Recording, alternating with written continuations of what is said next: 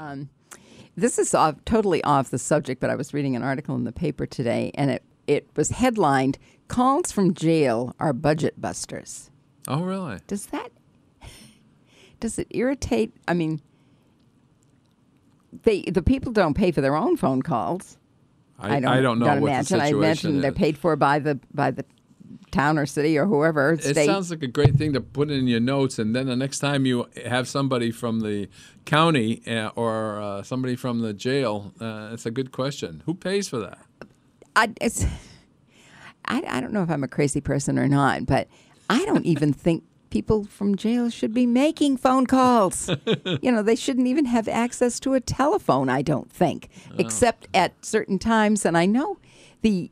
Um, the county jail when when we toured that there were places where they could sit and make phone calls but they can't just make phone calls all the time they I don't. I don't. can know. make certain types of phone calls and i just don't think it's right that people you know they're supposed to be being punished and how are they being punished if they're you know have all the Well, I know at the present time in the state of New Hampshire, okay, the law says that if you are in solitary confinement in a, in uh, a jail, you, you, you can't even have books. You can do nothing.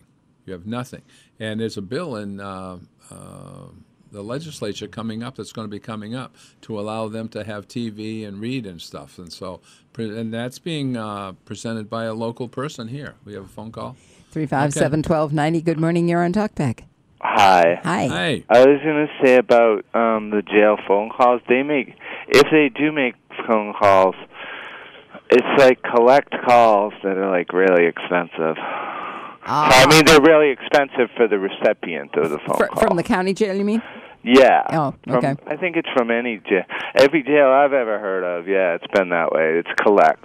It's a collect call from the from Oh, the okay. jail person. but do you think they should be able to make phone calls they're being punished i mean Well, it's if it's a, I think it's a collect call, but I think it it may, it may they may the city may make money on that phone call No, the city- actually. a- no, Well, Uh, whoever city gets city because the doesn't city have a doesn't public have a it telephone system. doesn't have a public telephone system but What? I don't know how it The, works. the, the telephone I system. do know it's you collect. yeah, Okay. well that's good Well, to thanks know A lot. well Okay. thank you Yeah. Thanks. Yeah, bye bye.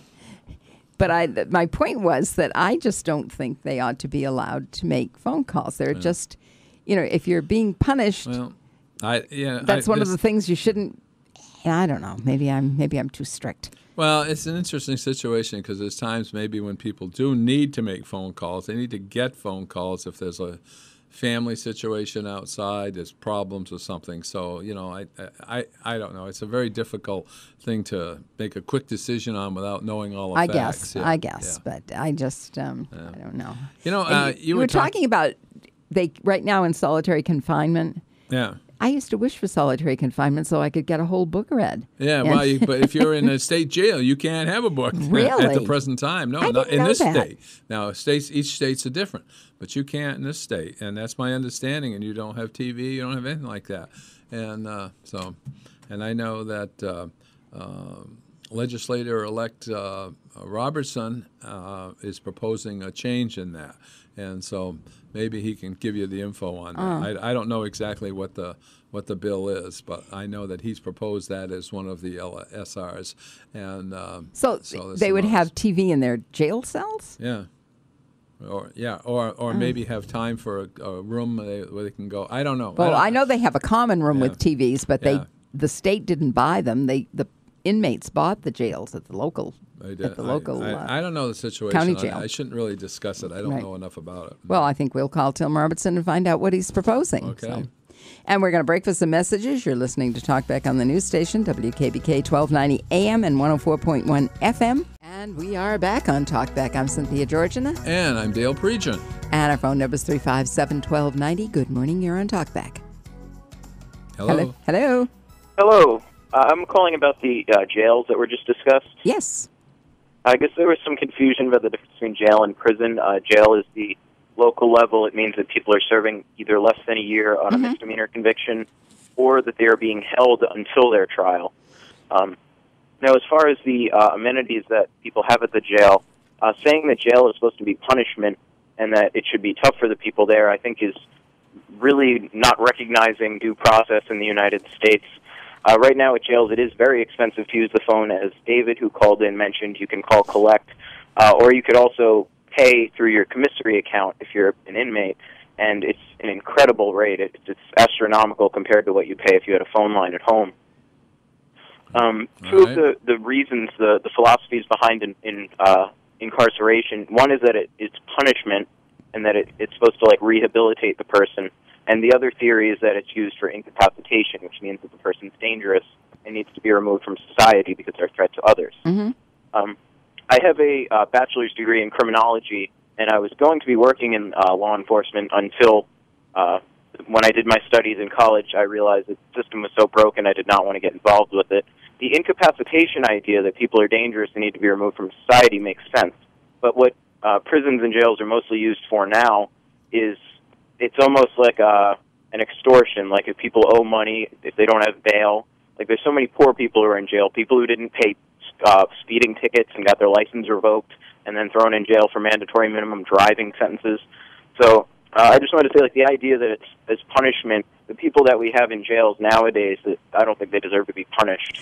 Do you think that happens around here? I, I don't know anyone who's ever, you know, lost their license and and gone to jail for that. In, You'd be locally, surprised. I mean, There's I don't many know. people in jail. It happens. I don't know if it happens around the country, but um, you know, I think if you drive again, you know, if you're driving without a license, then that may be a different a different thing.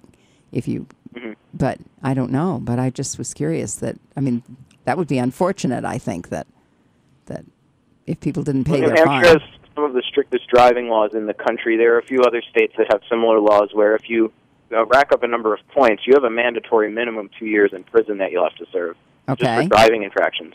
Well, Is that in New Hampshire? and maybe they Yeah. need to be Really? more careful how they drive.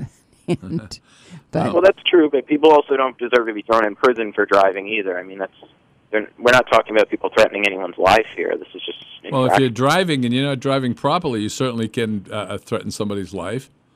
I mean, if you're driving True. down the road and you're not doing what you're supposed to be doing and driving properly, I mean, what if you? I mean, you can If you're texting and accidents. yeah, driving, what or if if you you're- create accidents? drinking and driving, that sort of thing, that certainly can be, you know, life threatening to some people in other vehicles or walking along the side of the road or something. But um, I don't know. That's it's interesting. I know. I don't know. But anyway, Well, anyway, thank you for the input. We appreciate that. Thank you. Okay. three five seven twelve ninety.